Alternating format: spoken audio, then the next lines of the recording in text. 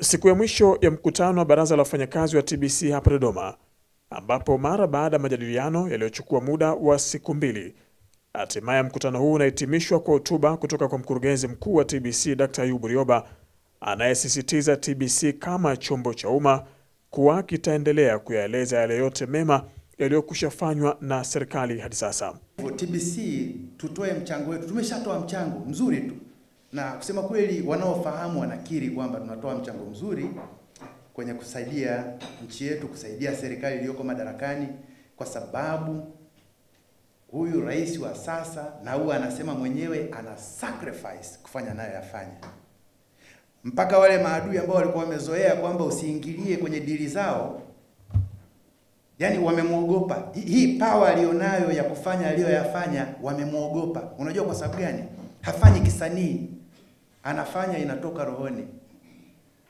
Aidha, Dr. Rioba pia anatoa wito kwa vyombo vya habari nchini kuelekea uchaguzi mkuu baadaye mwaka huu. Kwa wale wanahabari, tuepuke kabisa kuwa punda. Usibebe mizigo ya mtu kabisa, usibebe mizigo ya mtu na mara nyingi waandishi wanaoumizwa ni yule ambaye anakuwa punda, anabeba mizigo ya mtu. Kwa hiyo yule wa upande kule akiona ah, kumbe wewe unabeba mizigo ya adui yangu, anakushughulikia. Ukifanya kazi professionally bila kuonyesha kwamba unataka kuumiza mtu, si ndio?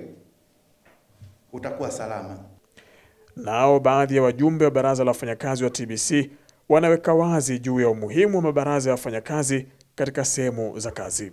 Mafanikio haya yanakuja kutokana na msingi kwamba mabaraza haya ya wafanyakazi yameundwa chini ya sheria ambayo ni sheria ya mabaraza ya wafanyakazi nchini, kiasi kwamba mabaraza haya uh, kiutaratibu na kimsingi ndio mabunge ama bunge la wafanyakazi. Sote tumeona yaliyofanyika katika baraza lililopita, na hayo ndio ambayo yalikuwa yanatazamwa ili kuona kama hoja zimepatiwa ufumbuzi. Lakini pia ukumbuke mwaka huu ni mwaka wa uchaguzi, lakini vile vile kuna kulijenga shirika lenyewe eh, kuwa bora zaidi. Tulipo sasa tunakwenda mbele zaidi kuhakikisha watu wanatutazama, yaani e, ile amna mtu kusema kwamba unaweka chaneli nyingine, unaweka TBC na kuhakikisha E, watu wanatufuatilia na kufata habari zetu.